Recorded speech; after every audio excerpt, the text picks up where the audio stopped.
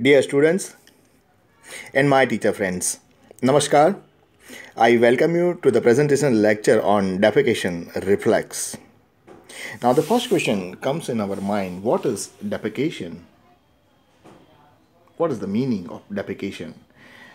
Now, the defecation, the simple meaning of defecation is the discharge of fecus from the body. Discharge of fecus from the body that is known as defecation.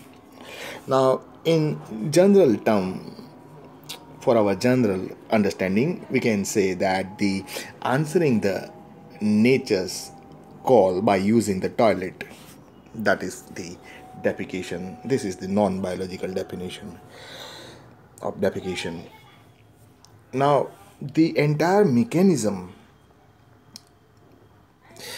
of discharges discharging the fecus so this entire mechanism of discharge of fecus is known as the defecation reflex. Now before we discuss the defecation reflex we need to understand this mass movement. First i am showing you this figure you observe this third figure and this third figure with the blue color arrow is showing the mass movement. Now what is mass movement? See when the food comes in the stomach what happens? The due to the stimulation of food the wall of large intestine that is the descending colon and the transverse colon in which the fecus is present. So these walls of large intestine, they perform the peristaltic movement. The muscle which are present in the wall of large intestine, they experience, they perform the peristaltic movement that is the contraction and relaxation. relaxation. Now due to the peristaltic movement, what happens? This fecus is pressurized so the peristaltic movement of large intestine is pressurizing this fecus and due to the pressure what happens? As you can see the fecus one minute the fecus the fecus from the sigmoid colon it is entering into the rectum. So this is about the mass movement okay and the information regarding the mass movement you can read this information regarding the mass movement. So in short due to the mass movement the fecus enters into the rectum. Now what happens? Okay so now this is the this is the first point and whatever we have discussed regarding the mass movement uh, that thing is written over here that the fecus material it is pushed from sigmoid colon into the rectum. So the rectum receives the fecus this is the first point. Now what happens? Second point. Now as the as the fecus has entered into the rectum, the wall of rectum is distented. That means distented means due to the fecus, due to the presence of fecus, the wall of rectum is pressurized. And this pressurized rectal wall is stimulating the stretch receptor which are present in the rectal wall and now there is a initi initiation of the defecation reflex. So now the defecation reflex is initiated as the stretch receptor are stimulated due to the presence of fecus and when it is going to end this defecation reflex so when the rectum is empty, when the fecus is discharged outside from the body, so that time the defecation reflex will end. Okay? So this is the this is the second point. Now moving on the third point. Now what is the defecation reflex which are the events that are taking place in the defecation reflex so in response to the distension of the rectal wall the stretch receptor they send the sensory nerve impulse to the sacral spinal cord. Now the spinal cord which is present, the portion of the spinal cord which is present at the sacrum, that is the sacral spinal cord. So here now with the, all this uh, theory, uh, we try to understand with the figure. So now you can see uh, in the rectum the fecus is there, okay, and this fecus is pressurizing the rectal wall and what is happening if you observe closely you will find the stretch receptors are present in the wall of the rectum. Now due to the distension or due to the pressure of fecus this stretch receptor they are stimulated and this stretch receptor they as you can see with the green arrow these green arrows so the sensory nerve impulse is going is entering into the sacral spinal cord. So this one over here this is the sacral spinal cord. Okay? So in short the presence of fecus okay that information passed to the stretch receptor and stretch receptor are now passing the information that the fecus is in the rectum. So this information uh, with the help of a sensory fiber reaches to the sacral spinal cord.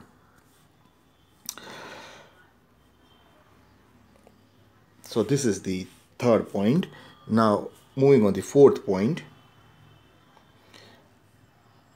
Now motor impulse from the spinal cord they travel along the parasympathetic nerve. And this nerve impulse from the parasympathetic nerve where it is reaching so this nerve impulse reaches to descending colon sigmoid colon rectum and anus. Now what is the meaning of this thing? See here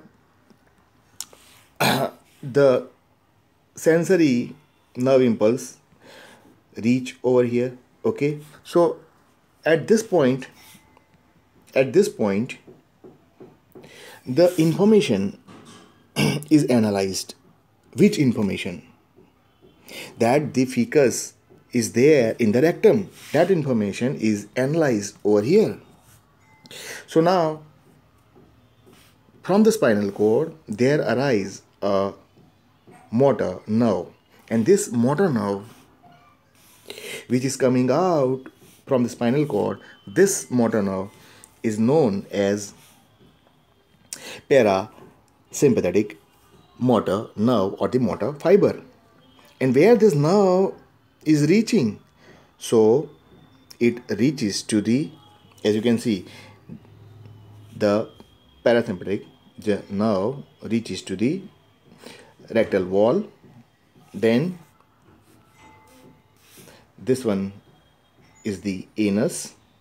So the wall of anus. Then sigmoid colon. The branch is not shown so i am drawing. Okay. So four names. Descending colon. Okay let me draw. Here this is the sigmoid colon and this is the this one is the descending colon. So the branch okay the branch of parasympathetic nerve reaches to the descending colon sigmoid colon then the branch reaches to the wall of the rectum and the branch reaches to the anus okay. Now what the role this parasympathetic motor now is playing what is the function of this parasympathetic, parasympathetic nerve now as I told you earlier that the information regarding the presence of fecus is analyzed over here. So this now is sending the message to all four parts descending colon, sigmoid colon, rectum and anus. So due to the nerve impulse from parasympathetic nerve, all this region, all this four region the muscle, the longitudinal muscle of the rectum, they contract. Okay, so with the red color, you see this nerve impulse is coming, and where this nerve impulse is entering, so the nerve impulse enter into the wall of the rectum. So the wall of the rectum is contracted since the wall of rectum is contracted, the fecus is pressurized. Okay.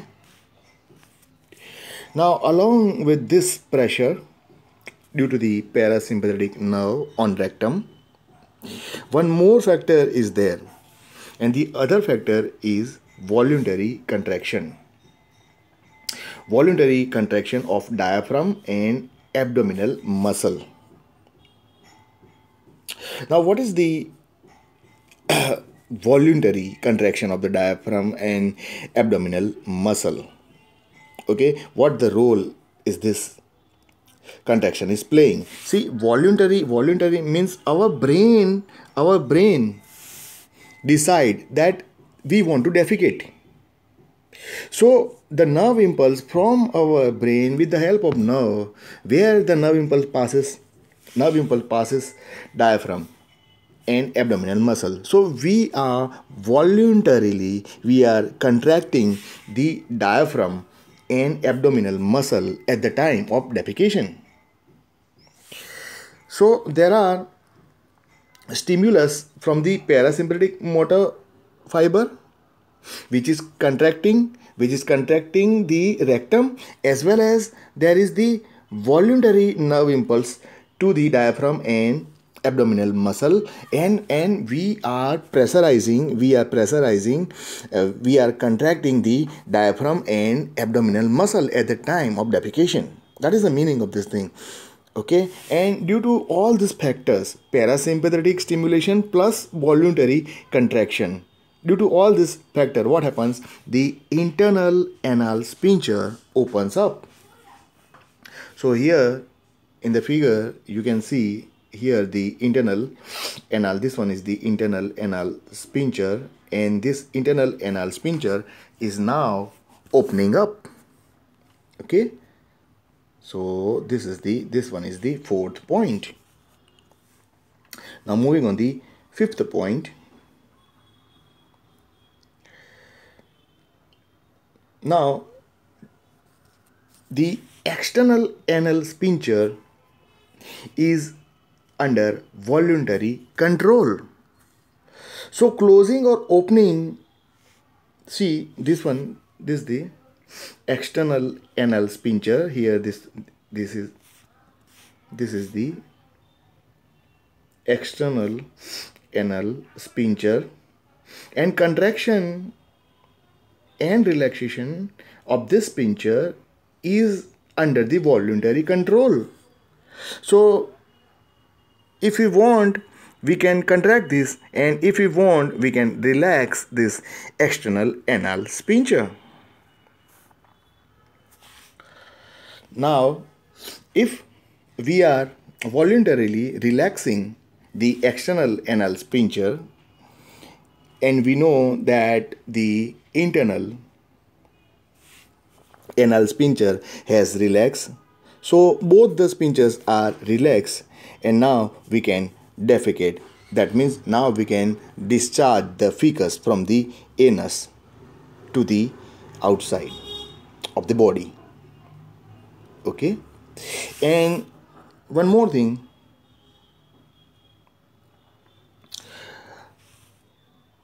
If it is if it is voluntarily constricted defecation can be postponed.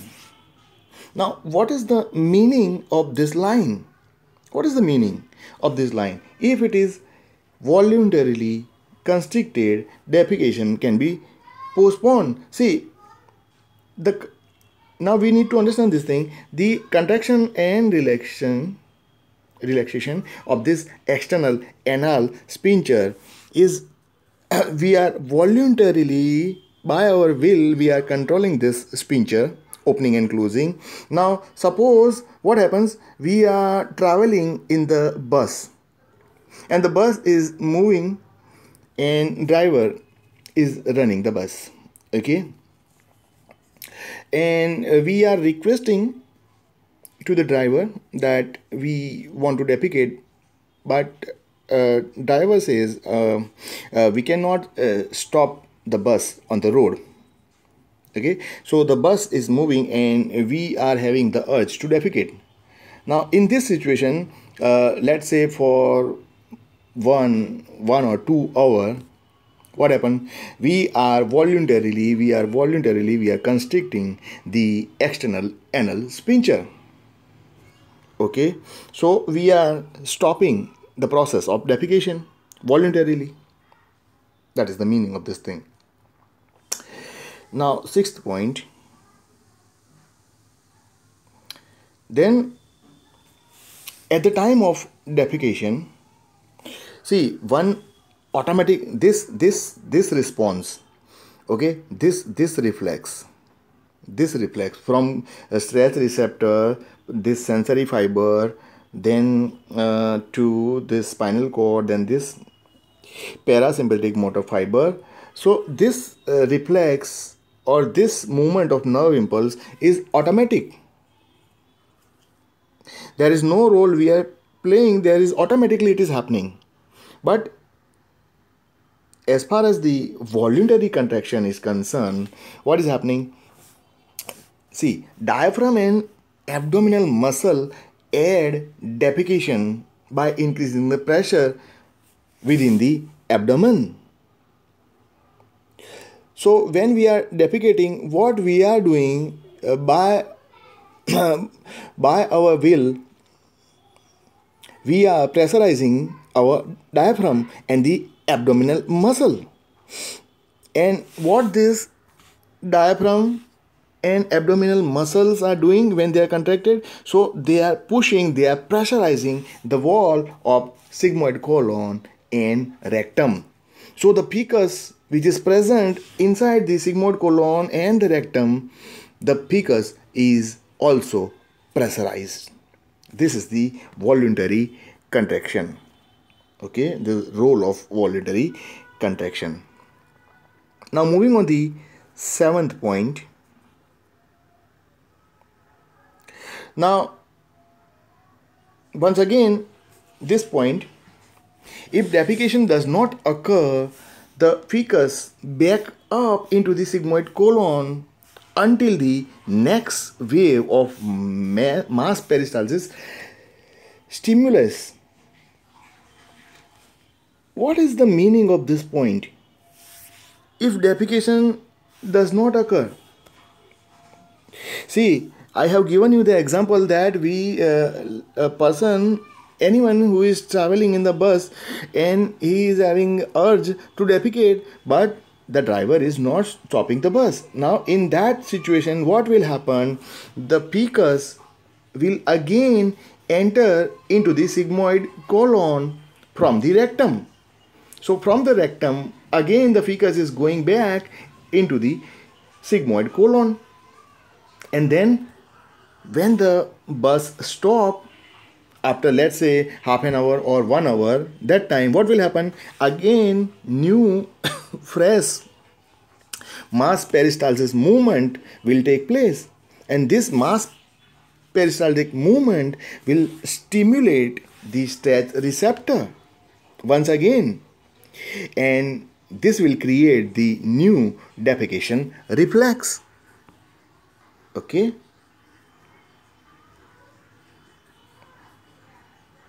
So when the bus stop again we will visit after the we will visit the we first we will find the toilet and then we are going to defecate in the toilet. Okay? That is the meaning of this seventh point. Now the eighth point. Now in infants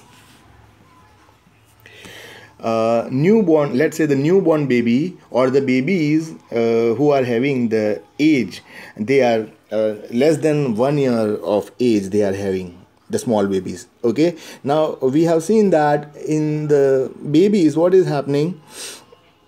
They are uh, many a times many a times always always they are spoiling their clothes with their potties or their pickers because in the infants what is happening? This defecation reflex is automatic and it is automatically emptying the rectum. Because in the infants the voluntary control that as an adult that control we are having to constrict or relax the external anal sphincter. But in the infant, this voluntary control has not developed. Okay, so by their will, they cannot uh, contract or relax the external anal sphincter. So that's why in the small babies, the infants, uh, they used to spoil the clothes with their potties or the fecus. Okay? So this is the eighth point and finally the last point ninth point.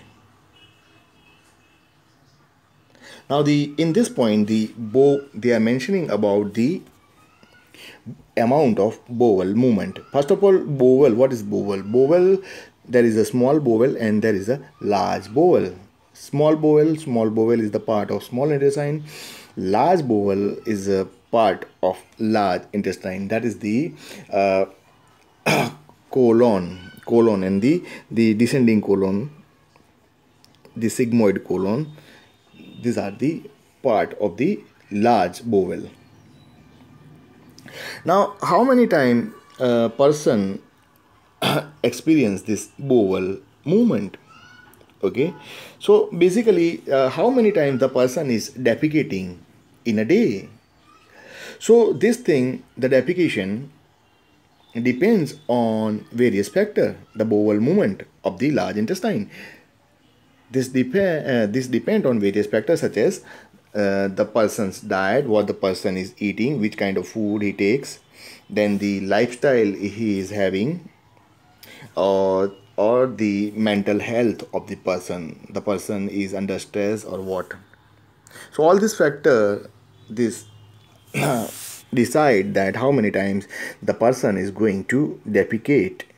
Now the normal range for the bowel activity, the movement of large intestine, uh, it varies from 2 to 3 bowel movements per day to the 3 to 4 bowel movement per week. So this is the normal range that a person defecates two to three times in a day to four to uh, three to four times per week. Now, before I wind up this presentation lecture, I would like to show you all the figures. This figure, this figure is very important figure for you.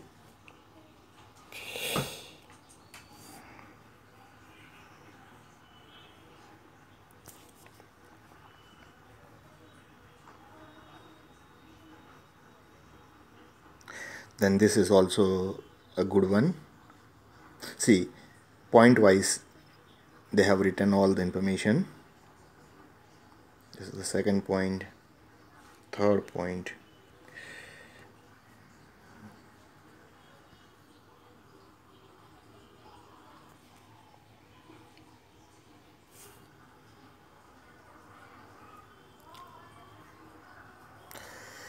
so with this we have completed the discussion on defecation or the defecation reflex. I hope you have enjoyed this presentation lecture and I also hope that this presentation lecture will be helpful in your exam preparation and also in your studies.